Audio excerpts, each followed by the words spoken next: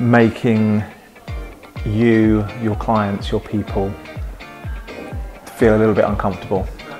Being bold means just being proud of who you are. Have to accept that sometimes you might not be as successful as you thought you would. Be yourself with no apologies. It's about constantly trying new things, um, even if they at first feel a little uncomfortable.